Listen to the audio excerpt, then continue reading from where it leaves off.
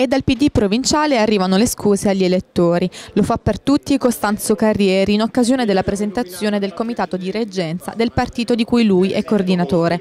Scuse per il periodo di vacazio, per i mesi difficili trascorsi dopo gli insoddisfacenti esiti delle ultime elezioni amministrative.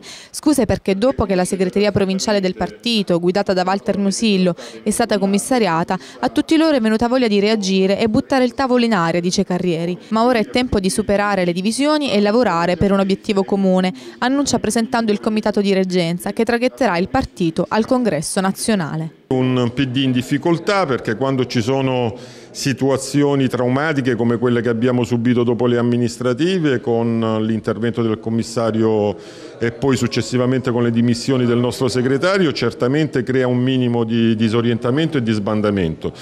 Noi dobbiamo fare in modo di recuperare questo stato di cose, lo dobbiamo fare eh, aprendo le porte di questa comunità a tutti coloro che vogliono partecipare in un confronto libero, aperto, democratico, senza fazioni in campo ma sapendo che il PD è un grande patrimonio di tutti e che noi dobbiamo salvaguardare il PD e dobbiamo lavorare nell'interesse del territorio. È finito il momento di unirsi o di dividersi in gruppi e gruppetti, dobbiamo superare le incomprensioni, dobbiamo andare avanti nell'unico obiettivo di salvaguardare questo grande patrimonio. La soluzione